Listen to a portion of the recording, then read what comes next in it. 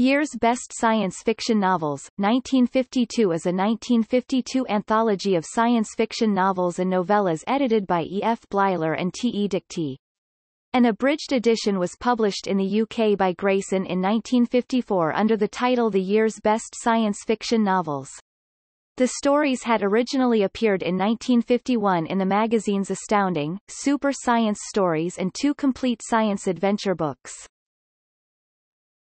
Topic contents Introduction, by Everett F. Bleiler and T. E. Dikty Izzard and the Membrane, by Walter M. Miller, Jr., and Then There Were None, by Eric Frank Russell Flight to Forever, by Poul Anderson The Hunting Season, by Frank M. Robinson Seeker of the Sphinx, by Arthur C. Clarke Topic. Reception P. Schuyler Miller described the contents as five varied and generally good middle-length stories not long enough to become books.